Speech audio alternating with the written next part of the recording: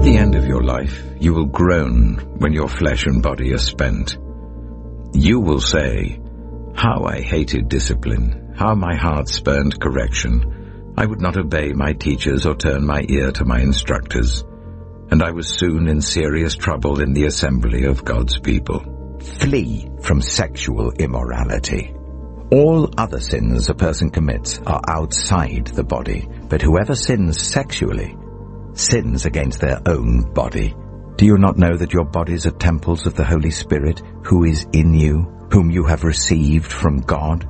You are not your own. You were bought at a price. Therefore honor God with your bodies. No temptation has overtaken you, except what is common to mankind. And God is faithful he will not let you be tempted beyond what you can bear.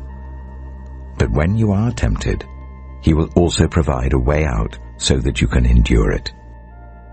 Hello everyone, this is going to be short and simple because the answer on how to fight lust is short and simple. Now because something is short and simple does not mean it's easy.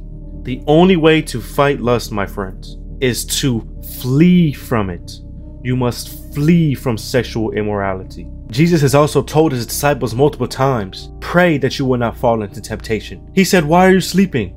He asked them, get up and pray so that you will not fall into temptation. Pray for the strength to fight it. Pray for it, my friends. But also what you need to do is you need to recognize temptation itself. Recognize that you are being tempted. Recognize it. Because when you can recognize it, that's when you can fight it. That's when you can flee from it. Lust is all over the place. If you're scrolling, the best thing I could tell you to do is when you see it, by the time you see it, you've probably been scrolling enough. Get off of it. Close the app. Close your phone. Take your mind off it. Do something else. Recognize that it is tempting you. When you can recognize the temptation or any other sin that you fall to, when you can recognize it before it happens, is how you prevent it.